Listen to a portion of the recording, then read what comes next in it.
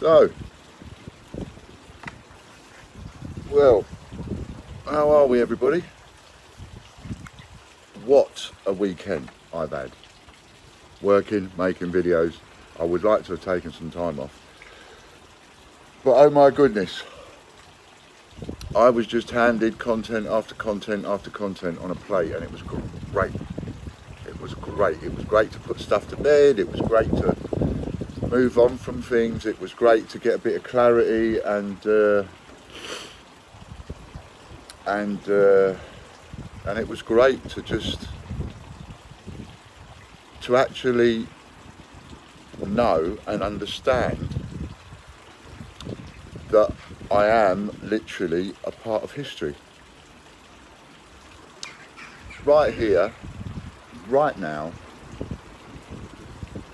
me and the team, John and Logan and Kelly, Mick and Lisa and Butch, Lorna and Chris, all these people, all the people that have been supporting us, all you people that have been supporting us, Chris Spree, Danielle, you know, all these people, John Benson, I mean, there's so many names, isn't there? Rebecca and uh, Macintosh, so many people, but you know, all of you do not realise this. You, you really don't comprehend what I'm saying to you, and that puts me in a in a bit of a sort of a quandary, difficult position because it's like, oh, they're just not understanding me. But on the other hand, it puts me in such a privileged position because it's like, oh my God, I understand something, and there's a lot of people not getting it, but I do. If you could put everything that's happened regarding the mint and one thing and another and 288 group and me and all of that if you could put all of that and go back 50 years, we would be reading about that now. It would be in the books now. We would be reading about what had happened. But it's not. It's happening now. And you are part of this. You're part of it. A lot of you, your names will go down in history. And you think I'm talking out my backside. Some of you are going, ha ha ha, what a lemon, what a lemon, what a knob. But actually, you know, I don't think I'm wrong. And I tell you why I don't think I'm wrong. I don't think I'm wrong because on the power of what we have done, the Royal Mint has done a U-turn this morning. As of this morning, they're out of the tills. We've got that in a recorded conversation. The news is filtering out there to other people, but as of this morning, they are no longer in the tills. Now, here's the thing. I've got supporters out there, I've got people sitting on the fence out there, and I've got haters out there, and I've got people that just don't like me, and all this Marmite effect on one thing and another. Okay, I get it, all of that. So do you. Let's move beyond that a bit, right?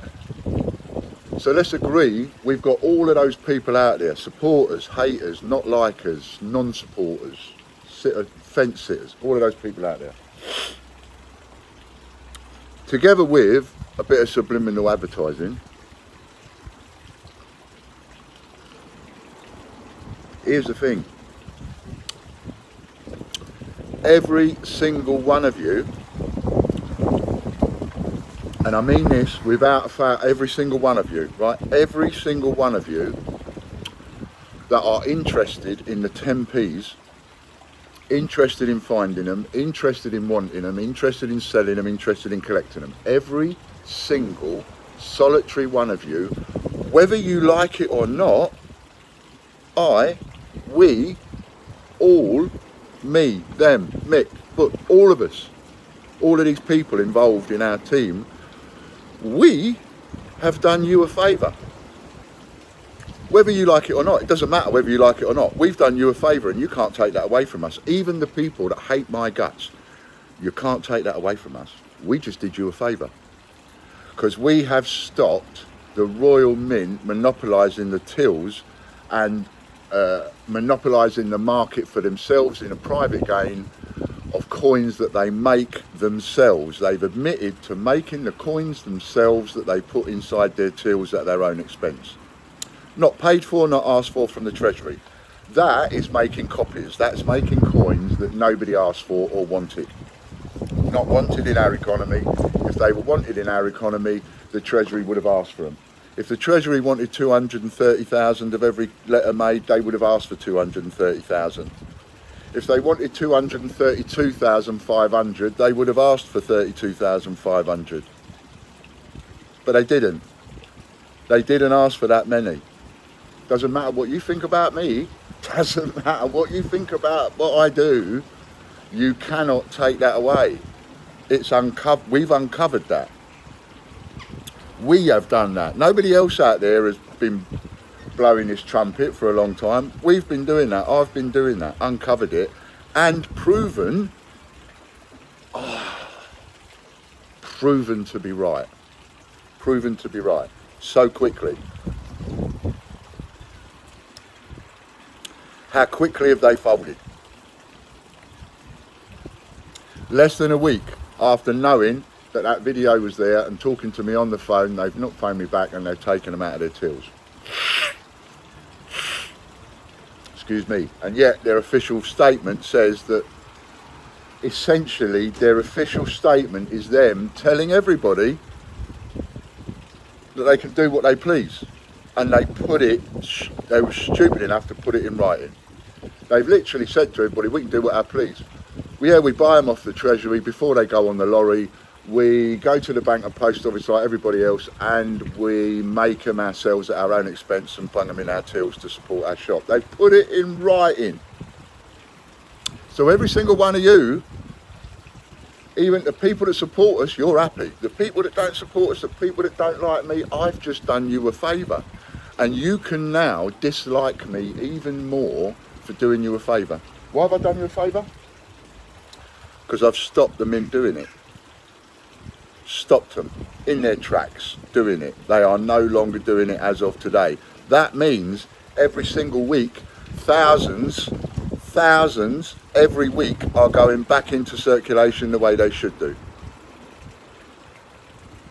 And I never said when I was rinsing the Mint's tills and all the rest of it, I'm right, I'm justified, blah, blah, blah. I no, what I said was I shouldn't be allowed to do it. No one should be allowed to do it. I did it, highlighting it. I did it and I'd do it again. And if I lived closer, I'd have been down there every day doing it. I'd have forced them to stop it earlier, or I'd have had tens of thousands out of them myself, just to prove it. But now they've stopped. Pardon me. Thanks, Ian. Now they've stopped. So all you people out there that, that, that left comments on the one hand, quite rightly slating me off. I, I don't argue with that because it is a different debate, right? So on the one hand, those of you that were slating me off in the comments going, you shouldn't have done that at the mint, you shouldn't have rinsed the tills and all the rest of it. And there is a part of me that agrees with you, by the way. Just done you a favour. I've just stopped it from ever happening again. That will never happen again. I'll tell you what will never happen again also they ain't going to put the 50p's in their tills and the two pound coins in their tills that they've been doing for some time. They ain't going to be able to do that either. It is interfering with the economy. There is, it's, no matter what you want to do, you talk, talk about it how you like, debate it how you like, and please have this conversation with each other, with your wives and families. Have this conversation. If the Treasury did not ask for them, then what are they? Because the Treasury doesn't want them, don't want them in our in our money, doesn't want them in circulation, have not asked for them, are not paying for them. Therefore, what are they? They have to be copies. They are nothing else but carbon copies. And that is a copyright issue. They're copies. And they are being put, they are made the same legal quality. And that is their biggest mistake. They never made any BUNCs. they'd have made BUNCs, they could have given them away. Nobody could have done any different. But they didn't. They made legal tender quality. They did not make any BUNCs. Even though we have photographs, and some of you, please send them to me, photographs of the barcodes where and the adverts where they sold you BUNCs coins. They, there never was any BUNCs 10p's. Never made a single one. And that's part of me, and that's where they went wrong. Because they've made them, they've made them legal quality. It's the same quality that you get in a mixed bag in the bank. It's no different. So therefore they've made copies because they've made more than what the Treasury wanted and they have put those copies into the tills. Subliminal advertising.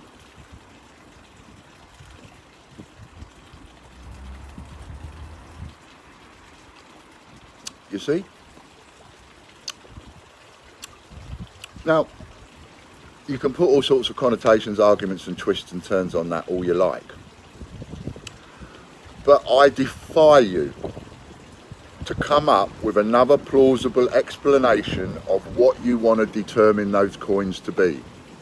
The Treasury hasn't asked for them, they don't want them, they haven't paid for them, that they've been made and those coins are going into circulation because they were going in the tills. It's a way of putting them into circulation and making loads and loads and loads and loads of money.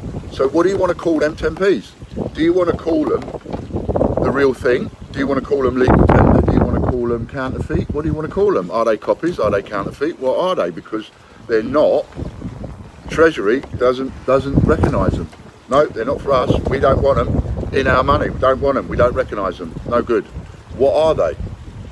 Now you find a, a, a more plausible explanation than what I've come up with and you can knock my technical treason right out the ballpark. There's a challenge for you. Talk about sponsorship challenges. By the way, I'll come to that kind of thing later. I ain't rushing. You know, number one, I don't sponsor anybody that's got slanderous content, so you have to make sure that's gone. And number two, I don't get involved in bidding wars. That's why I don't go to people like Christopher Collects and ask him to be a sponsor. I'll ask to sponsor him because he's you know he's already got deals with people. I ain't going to go in there and get in a bidding war. Don't do that with anybody. I'll go to someone that isn't being sponsored. Anyway, we'll come to that another time. We'll talk about a bit. So, so, am I right or am I wrong? If I'm wrong, show me how I'm wrong, please. If I'm right, give us a bit of support. Come on, even if you don't like me, throw a fiver into our crowdfunding campaign just for the sheer fact that I'm the one who stood up, stood my ground all the way through this, even whilst you didn't like me, and I've just done you a favour. Because I've now made it more possible for you to find some of these coins.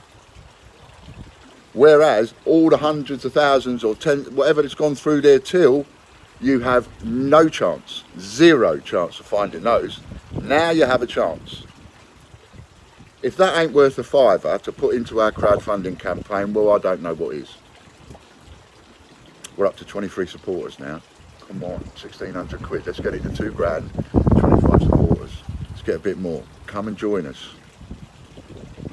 I've been saying for a long time, I really don't believe that if we go up against the Mint, I don't believe we're going to lose. So what if it's David going up against the Goliath? Sometimes David wins. And with all the evidence I've been throwing at you, and all the things I come up with, ain't that worth a couple of quid? I might sound like I'm begging now, perhaps I am. Ain't that worth a couple of quid? Don't let us go. Don't let us go to the wall. Get in there now. We need the support now. Everybody needs to see that crowdfunding campaign working.